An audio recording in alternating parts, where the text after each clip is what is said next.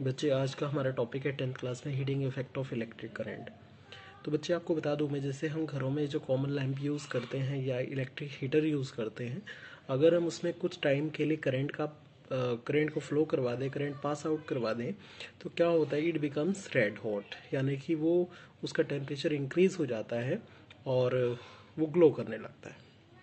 तो यानी कि टी टाइम के लिए रेजिस्टेंस आर में, क्योंकि हर एक एप्लियंस का अपना अपना रेजिस्टेंस होता है। बल्ब का अपना रेजिस्टेंस है हीटर का अपना रेजिस्टेंस है।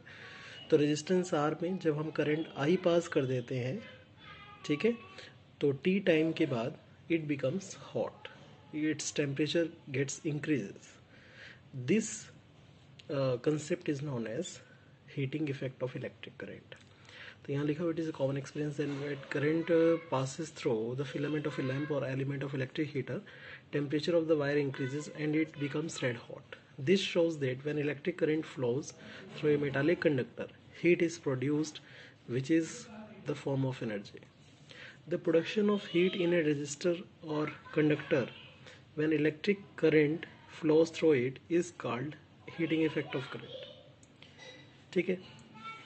इसके बाद जूल्स लॉ ऑफ़ हीटिंग क्या है? जूल्स लॉ ऑफ़ हीटिंग हम ये कह सकते हैं कि अभी मैंने आपको एग्जांपल जैसे रेजिस्टेंस आर में हमने करंट पास करना है।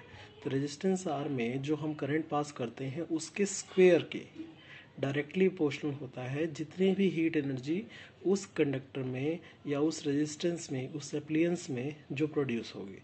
तो heat energy produce directly proportional to square of the current passing through them और सेकेंड किस पे डायरेक्टली प्रोपोर्शनल होता है? The resistance of a given conductor यानी कि उस कंडक्टर का या उस सर्किट का, उस रेजिस्टर का कितनी रेजिस्टेंस की वैल्यू है, उसके डायरेक्टली प्रोपोर्शनल होगा।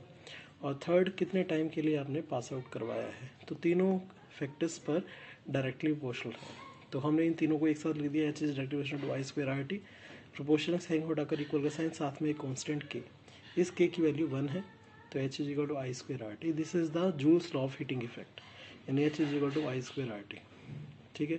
तो अगर ये मान लो स्टेटमेंट पूछी जाती है तो आपने कहना जो according to Joule's law of heating effect the heat energy produced in the conductor is directly proportional to square of the current and directly proportional to resistance of the conductor and the time taken for which the current flows in that ठीक है?